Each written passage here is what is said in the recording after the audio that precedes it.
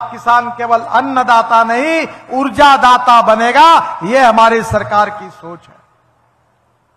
और इसीलिए अब मैं अगस्त महीने में टोयटो कंपनी की गाड़ियों को लॉन्च कर रहा हूँ। आपको पता होगा कैमरी करके गाड़ी थी। वो इनोवा है।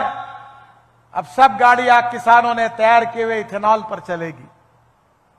60 परसेंट इथेनॉल 40 परसेंट बिजली, उसका अगर एवरेज पकड़ा जाएगा तो पंद्रह रुपए लीटर पेट्रोल का भाव होगा, जनता का भला होगा, किसान ऊर्जा दाता बनेगा, देश का प्रदूषण कम होगा, इंपोर्ट कम होगा 16 लाख करोड़ रुपए का इंपोर्ट है, उसके बजाय यह पैसा किसानों के घर में जाएगा, गाँव समृद्ध संपन्न बनेंगे, गाँव के किसान के बेटे को रोज़गार मिलेगा और इस देश का किसान केवल अन्नदाता नहीं ऊर्जा दाता बनेगा।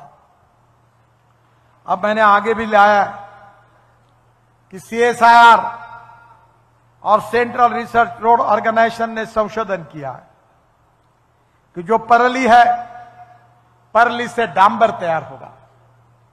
पानीपत में परली से इथेनॉल तैयार हो रहा है और एविएशन फ्यूएल हवाई जहाज़ चलने के लिए जो ईंधन लगता है, वो भी किसान बना रहा है। यही हमारे सरकार की कमाल है। स्पाइस जेट का विमान, देहरादून से दिल्ली हमने किसानों ने तैयार किए हुए ईंधन पर लाया।